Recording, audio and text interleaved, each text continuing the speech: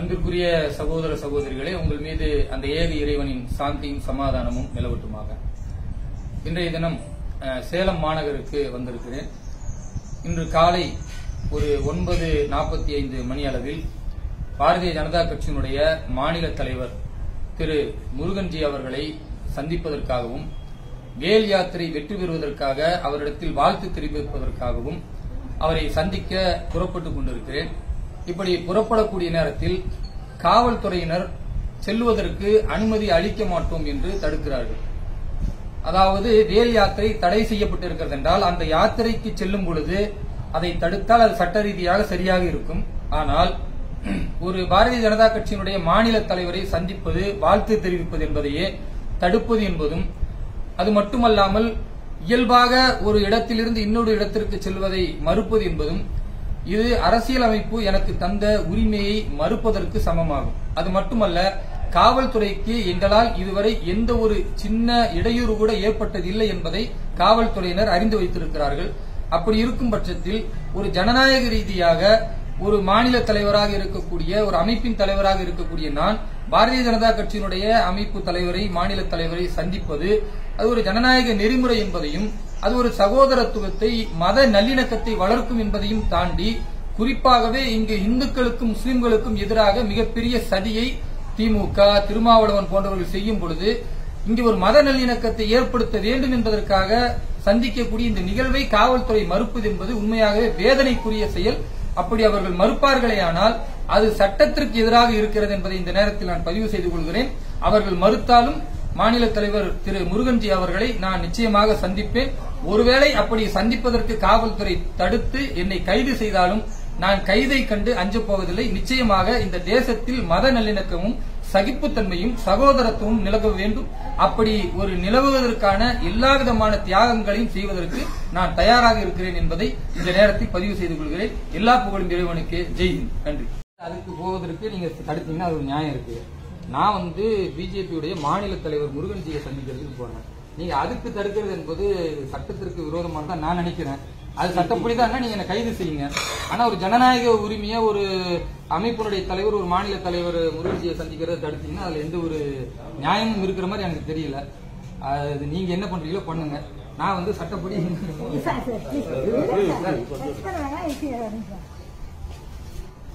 Sir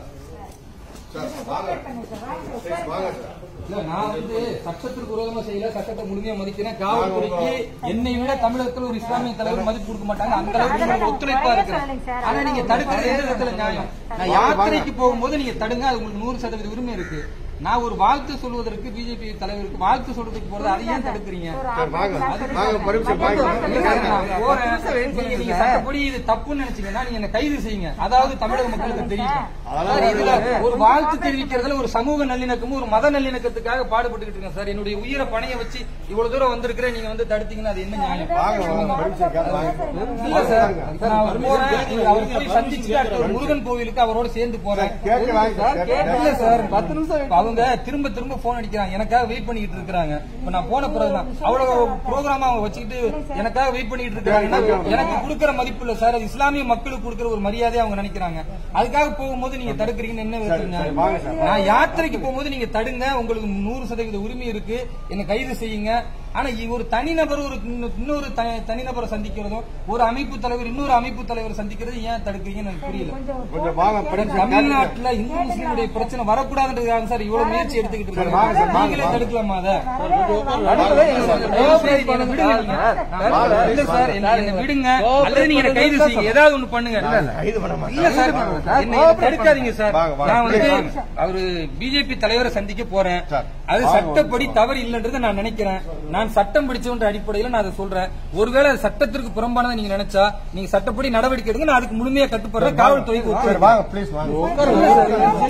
வீட்டை விட்டு வெளியே போறேன். நீங்க இந்த சட்டத்தை நடவடிக்கை எடுங்க. இல்ல சார் என்ன விடுங்கன்றேன். சட்டப்படி தப்புனா நீங்க நடவடிக்கை எடுங்க. கைது செய்யுங்க. மேடம் எனக்காக வெயிட் பண்ணிட்டு இருக்காங்க. நான் வெயிட் பண்றேன் நான் இங்கே நிக்கிறேன். நீங்க கேளுங்க. நான் நான் வெயிட் பண்றேன்.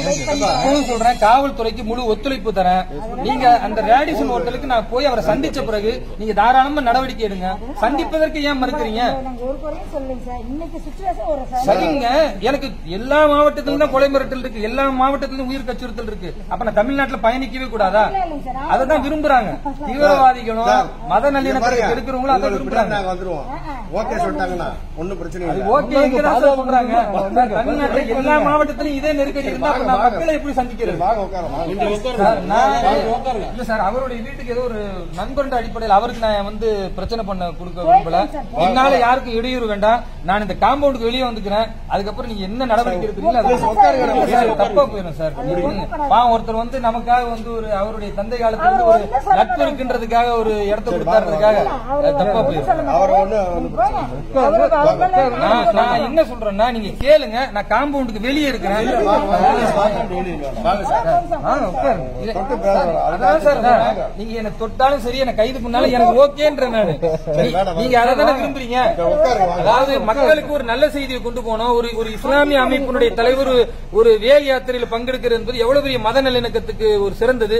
தமிழக முதல்வருடைய சொந்த ஊர் இது. இங்க அந்த மாதிரி ஒரு மத நல்லிணக்க நிகழ்ச்சி நடந்தா அது முதல்வருக்கு எவ்வளவு ஒரு பெருமை அது எவ்வளவு ஒரு மரியாதை முதல்வருக்கு? இப்ப நீங்க இந்த மாதிரி செயலை தடுக்கிறது. அது முதல்வருடைய கண்ணியத்துக்கு ஒரு கேள்விக்குறி மாதிரி ஆக்குறீங்க. முதல்வர் வந்து மத நல்லிணக்கத்தை விரும்புறாரு. இந்துக்கள் முஸ்லீம்களும் நல்லா இருக்கும்னு நினைக்கிறாரு. ஆனா ஏன் அதை நீங்க தடுக்கிறீங்க? ஒரு நல்லது நடக்கணுமா? இல்ல ஒரு சேலம் மாநகர் என்பது ஒரு மத நல்லிணக்கத்திற்கு நல்லது நடக்கணும் அப்படின்றத நாங்களும் விரும்புறோம். முதல்வர் அதை விரும்புறாரு. அதை நீங்க தடுக்கிறதன் மூலமா என்ன சொல்ல வரீங்க? பத்து நிமிஷம் wait பண்ணுங்க. தயவு செய்து புரிஞ்சுக்கங்க சார். மக்களும் பாத்துட்டு இருக்காங்க. லைவ்ல. பாத்துட்டு இருக்காங்க வாங்க, வாங்க, நீங்க வந்து எங்களுடைய உணர்வுகளுக்கு மதிப்பளிங்க. இங்க ஒரு நல்லிணக்கம் திகழணும் அவ்வளவுதான். நாங்க போன பிறகு என்ன வேணாலும் செய்யுங்க. இல்ல மேடம் நான் இந்த வீட்டை விட்டு வெளியே போய்க்கிறேன் நீங்க சட்ட ரீதியா என்ன நடவடிக்கை எடுங்க? இதை தப்புன்னு தெரிஞ்சா எடுங்க. நான் படிச்ச சட்டம் படித்த அடிப்படையில இது தவறு இல்லைன்னு நான் நினைக்கிறேன். நீங்க சட்டப்படி தப்புன்னு நான் அதுக்கு ஒத்துதானே வரேன்ற. காவல்துறைக்கு எதிராக நான் எந்த இடத்துலயுமே ஒரு நிலைப்பாட்டு எடுக்கவே கிடையாது அதெல்லாம் இல்லை அங்க பார்க்க இது அளவு இல்லையா?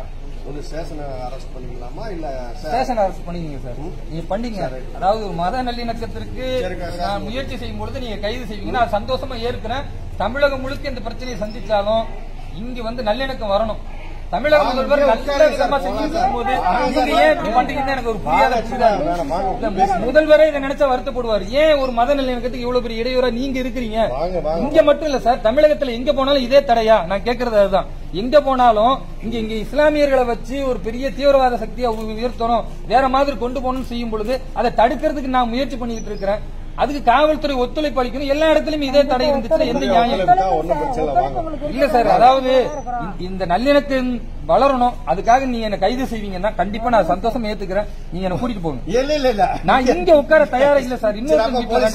தாராளமா கூட்டிட்டு போங்க சார். காவல் நிலையத்துக்கு கூட்டிட்டு போங்க. நான் வர தயாரா நான் ஏற்பாடு பண்ணிக்கிறேன். கொஞ்சம் உட்காருங்க உட்காருங்க இல்ல சார் நான் உட்கார சார். இல்ல சொல்றேன். இங்க வேணாம் உங்களுக்கு சிரமம் வேண்டாம். உட்காருங்க நீங்க உட்காருங்க நீங்க வேண்டாம். நீங்க நான் என்ன சொல்றேன்னா இது இன்னொருத்தருடைய வீடு. அதுல வேண்டாம் அது நல்லா. இல்ல இல்ல வேண்டாம் அது தப்பாயிரும். நீங்க இப்ப பேசுறது வேற. நாங்க நீண்ட நாள் ஒரு நட்பு ரீதியா இருக்கிறோம். அவர் வந்து கட்சிக்காக இடம் கொடுக்கல. நட்பு ரீதியா இடம் கொடுத்திருக்கிறாரு. அவர் உண்மையை சொல்ல போனா இஸ்லாமிய மக்கள் மீது அவருக்கு ஒரு மிகுந்த பாசம் உள்ள ஒரு மனிதர்.